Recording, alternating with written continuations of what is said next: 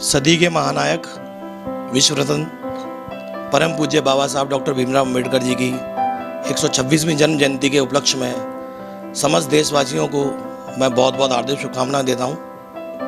भीम युवा व्यापार मंडल आगरा की ओर से समस्त शहरवासियों से अपील करूँगा कि आगरा की समस्त जनता इस वर्ष 14 अप्रैल वाले दिन हिंग मंडी तिराए पर सदरबट्टी से लेकर हिंकी मंडी के बीच पूरे मेले के अंदर आए और भारी उत्साह से इस मेले को और चार चाँद लगाए।